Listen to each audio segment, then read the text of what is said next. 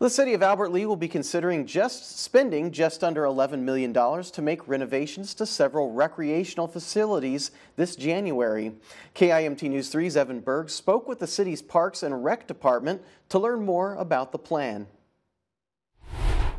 I'm here at the City Arena in Albert Lea, one of four civic recreational facilities the city is currently considering a multi-million dollar renovation for. The proposed renovations would repair and expand the city's arena, aquatic center, the Marion Ross Performing Arts Center, and the city's splash pad to make them more accessible and up to date for public use.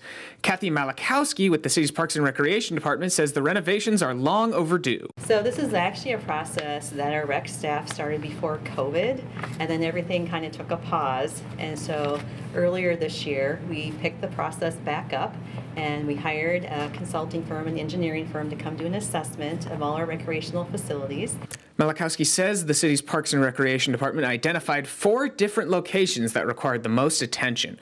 Changes could include updated heating and cooling systems to make them more efficient and environmentally friendly, as well as various quality of life changes such as replacing windows, floors, and support beams.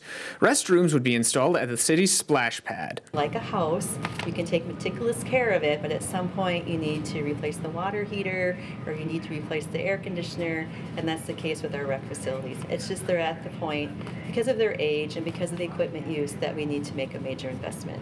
Albert Lea residents who want to weigh in on the proposed renovations can visit a City Council open house on January 4th. In Albert Lea, I'm Evan Berg, KIMT News 3. The City of Albert Lea will hold an open house about the project on January 4th from 4 to 6. The City Council will vote on the proposal and its financing the week after.